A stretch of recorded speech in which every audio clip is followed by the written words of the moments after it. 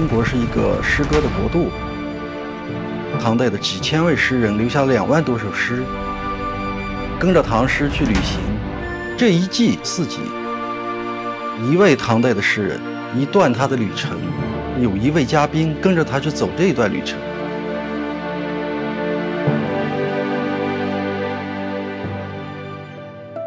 第一集选择的杜甫是围绕着他一生最困苦也是最高产的这段时间。我们选的嘉宾是西川老师，《一千年两个诗人》。杜甫在安史之乱之后避祸秦州，就是今天甘肃的天水。他从天水出发，穿过陇南山地，呃，到达四川的成都。杜甫抵达成都的那年暮春，在浣花溪畔建了一座草堂。他写下了很多和草堂有关的名句：“安得广厦千万间，大庇天下寒士俱欢颜。”他的这个胸怀不一样，能够从自己的小小的茅屋出发，想到全天下人的这个疾苦安危。成都人呢，去杜甫草堂并不是去朝圣，而是像去邻居家串门很多小孩杜甫的诗张口就来。雄宅，懒惰无心作解嘲，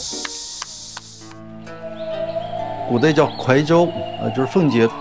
当时杜甫是五十多岁吧，在那生活两年时间，写了三百四百多首诗。比方说是《秋兴八首》啊，《登高》啊这样的一些诗，都是在徽州写的。无边落木萧萧下，不尽长江滚滚来。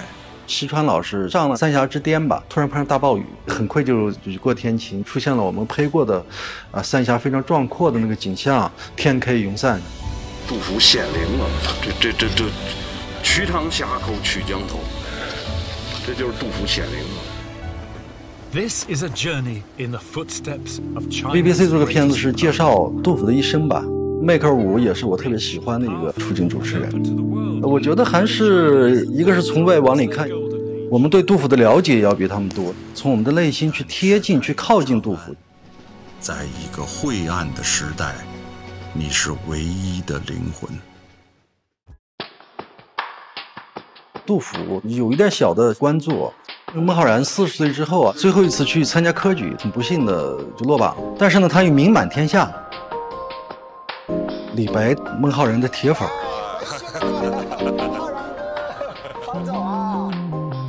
送孟浩然之广陵嘛。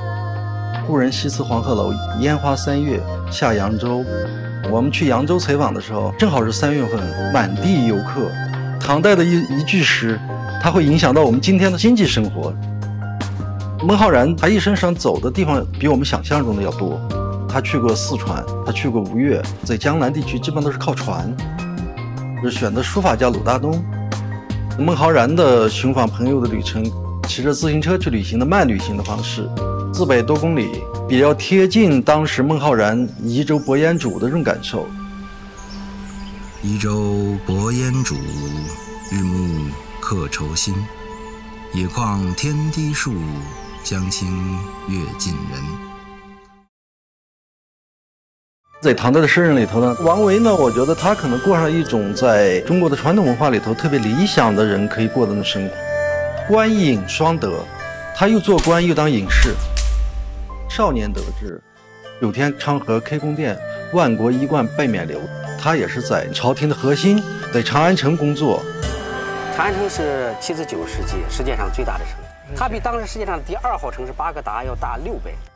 长安的日常的状态就应该是离别和欢聚，劝君更尽一杯酒，西出阳关无故人。中国的离别式的传统里头，又是有友情之间的不舍，又有为大家去远方建功立业的这么一种打气壮行的这么一个感受。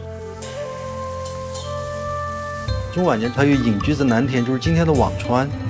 王维写过《辋川集》，有二十首诗，写了二十个景点。南天县的张孝东老师，二十个景点，一个一个的按照诗歌能够把它比看出在哪里。立波老师跟张孝东他们就去了，就传说中的鹿寨那个地方，看了之后才会明白，原来这个地方的光线是怎么来的，什么叫反影入森林。中午的时候，比南边这一排大山就挡住了；到了下午的时候，从上边这个宫痕是光影重新照进。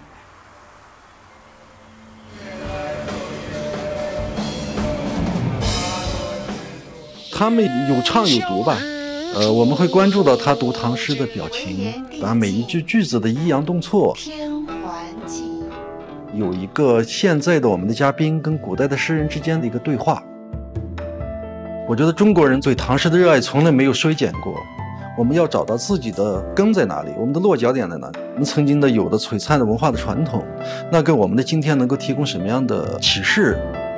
我们做幕后的人，把节目做到足够的精彩，足够能够今天的人进行情感上的沟通。